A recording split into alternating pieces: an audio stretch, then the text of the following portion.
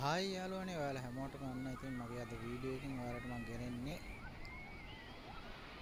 ආ, නිවාඩු පාඩුවේ නිවාඩු දවස ගිහිල්ලා විනෝද වෙන්න පුළුවන් මරු ප්ලේස් එකක් ගැන තමයි ආ, ඉතින් සමහර වෙලාවට මේ වීඩියෝ එක බලන සමහර කට්ටිය නම් දන්නවා ඇති මේ කොහෙද කියලා. ඉතින් දන්නේ නැති ඔයාලා වෙනුවෙන් තමයි මේ වීඩියෝ එක මම අරගෙන එන්නේ.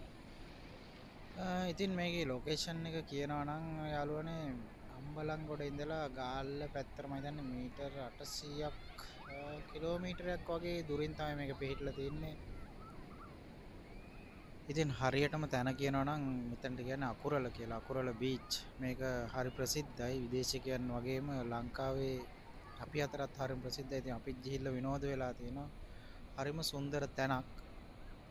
ඉතින් මේ වීඩියෝ එක බලන ඔයාලටම තේරෙයි කොහොමද මේක පිහිටලා තියෙන්නේ කියලා. ඇත්තම කියනවා නම් ආ, හරියටම කියනවා නම් පරයකින් තමයි මේක වට වෙලා තියෙන්නේ.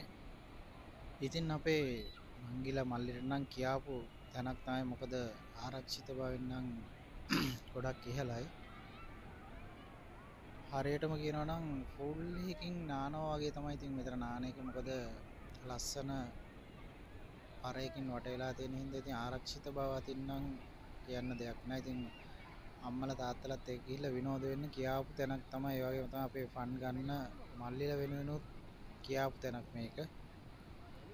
ඉතින් යාළුවනේ නිවාඩු පාඩුවේ ගිහිල්ලා හොඳට විනෝද වෙලා එන්න. හැබැයි ඉතින් ඔයගොල්ලෝ එක ඉල්ලීමක් කරන මේ පරිසරය නම් විනාශ කරලා එන්න එපා. ඉතින් ඔයගොල්ලෝ අරන් යන හැම දෙයක්ම මෙහි දමා එන්න එපා. ඉතින් අරන් එන්න කියලා ඔයගොල්ලෝගෙන් කාරුණිකව ඉල්ලනවා.